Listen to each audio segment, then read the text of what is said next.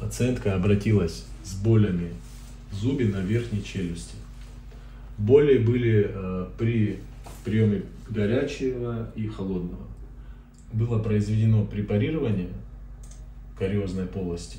И на вскрытый рог пульпы был наложен материал, э, способствующий сохранить нерв зуба, то есть э, не применять депульпирование зуба. Все-таки захотелось применить этот метод, но пациент был предупрежден о том, что в случае неудачи придется зуб депульпировать. Пациентка согласилась.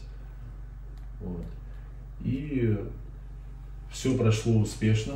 Следующему приему зуб абсолютно не болел. Временная пломба была удалена, термопроба была положительная, то есть зуб реагировал на термальные раздражители. То есть это говорит о том, что зуб полностью активный, живой, нерв функционирует.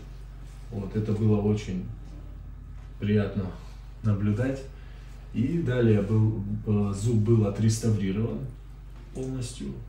Вот. Также здесь мы, э, видно восстановлена полностью жевательная функция, а, анатомическая форма зуба. Вот. А, это зуб 16 по номеру.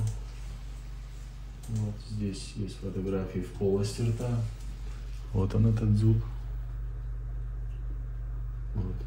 По прикусу стало все идеально, удобно, комфортно. Пациентка была очень довольна.